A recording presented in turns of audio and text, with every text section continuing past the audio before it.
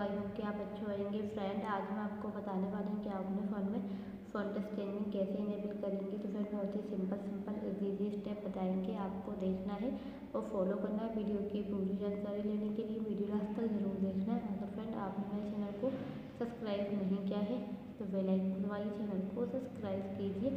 तो फ्रेंड आपको ऑप्शन देखने को मिलेगा फ़ोन में।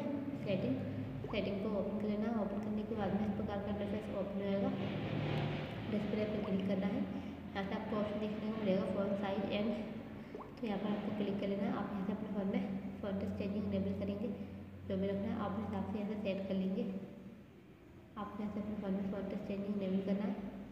तो यहाँ से अपने फ़ोन में फ़ोन टच चेंजिंग इनेबल करेंगे। इस प्रकार अपने फ़ोन में फ़ोन टच चेंजिंग चेंज करेंगे। जो भी रखना अपने हिसाब से यहाँ से सेट कर लेंगे। तो इस प्रकार अपने फ़ोन में टच चेंजिंग इनेबल करेंगे। अगर फ्रेंड आपको मेरी वीडियो अच्छी लगी होगा, इस तो वीडियो को शेयर करें लाइक करें चैनल पर आए हो तो चैनल